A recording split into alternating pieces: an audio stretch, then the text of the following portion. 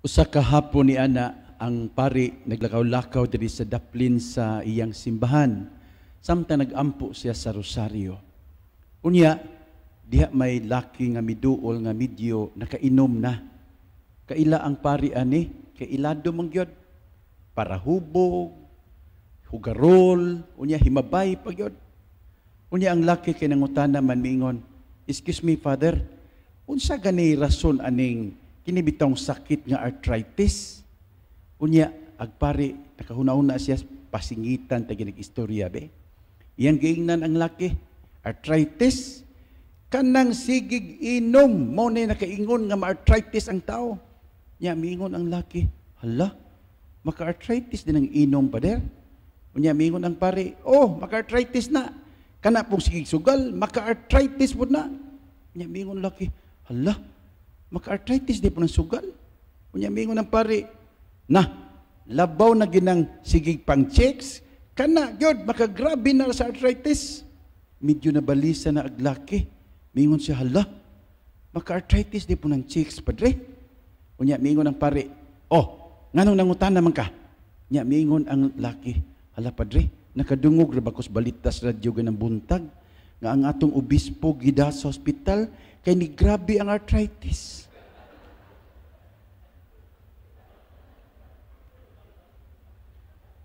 Mga igsoon, kamo diha, nabasab mo'y arthritis?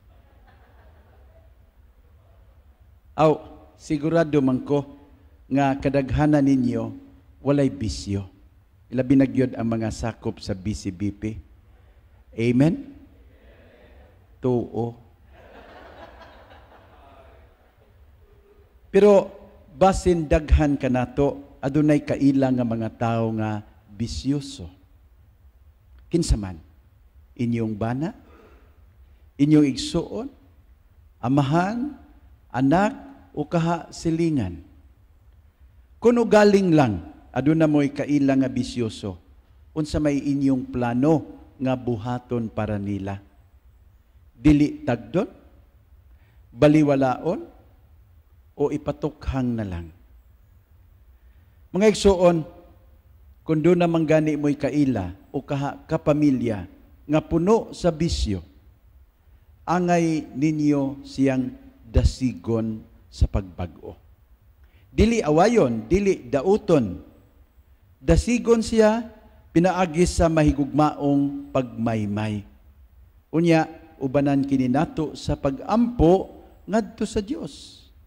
O sa pagampo magpatabang ta ni kinsa ni San Agustin nga maoy atong patron o pasidunggan karong adlaw.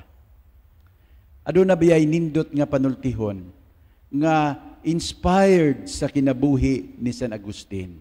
Kini nag-ingon, there is no saint without a past and there is no sinner without a future.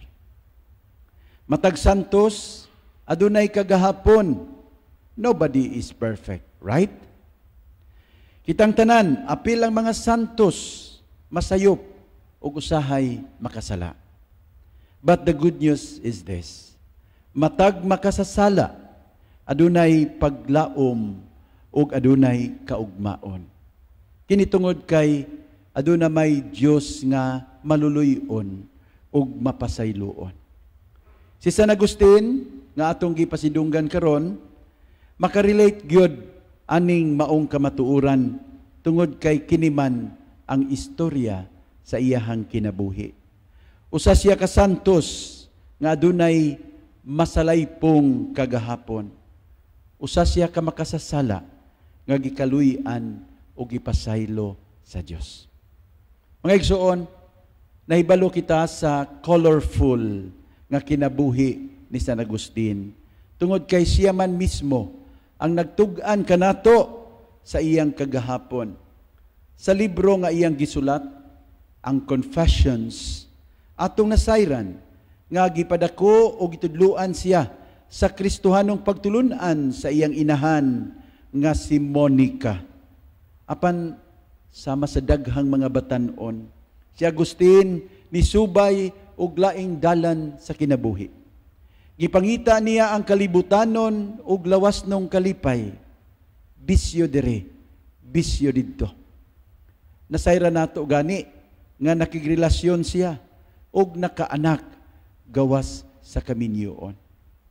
Diya sa kinabuhi ni San Agustin, ato naibawan ang usa kanindot kaayo nga sugilanon sa kausaban sa tao.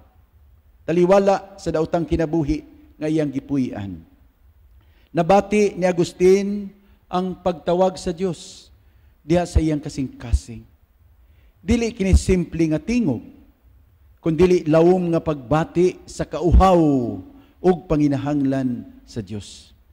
Ug nakahukom siya sa pagbiya sa iyang daotang kinabuhi aron magpaduol sa Dios. Mao kini ang kahulugan sa tinuod nga kabag-uhan. Conversion is not simply turning to God. It is living the old life and deciding to turn to God. Mga igsoon, unsa may nakaingon sa iyang kabag-uhan. Ang una, mao ang pagtuo sa iyang inahan.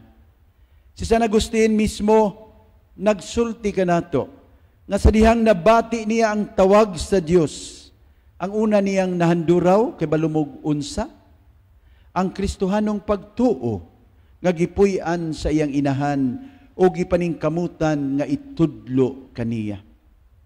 Nindot ni nga pahimangno, ilabi na kaninyong mga ginikanan. Do not take for granted the little things about God and about love that you are trying to teach your children. Kining gagmay nga mga pagtulunan, magpabilin. Diha sa ilang kasing-kasing, bisan kun sila atuan na sa layong dapit, ug bisan gani kun sila magpakasala.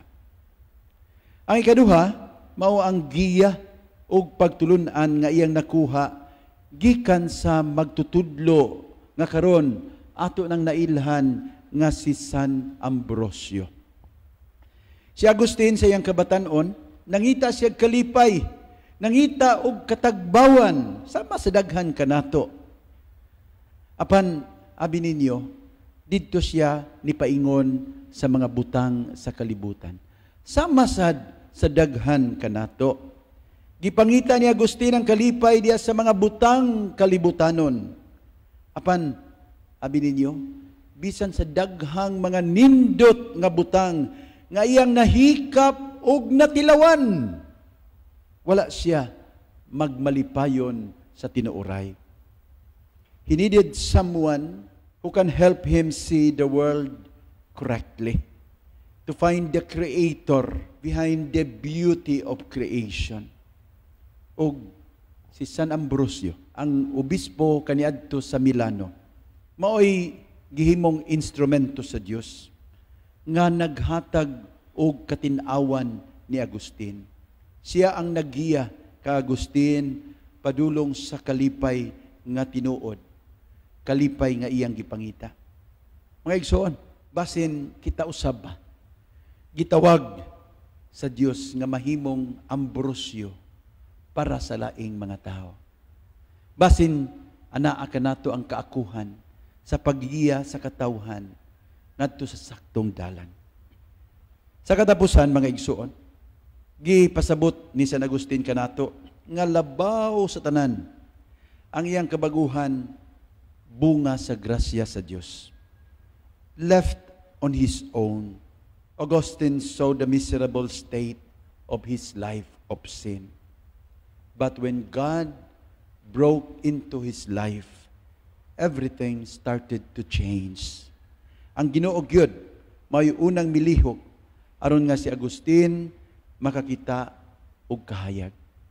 Da sa ebanghelyo nga ato nadungog karon, itudluan ta nga ang atong mga gasa, ang tanan nga atong gihuptan iya sa Dios.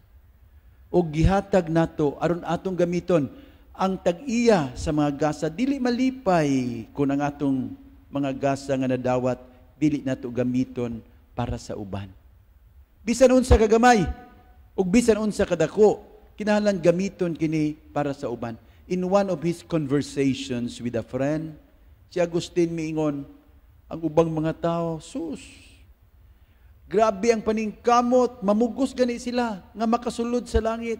Unya ni ata, nga gigasahan sa Dios ug daghang mga maayong butang. Augustine knew how brilliant he was here. Banggitan gyud.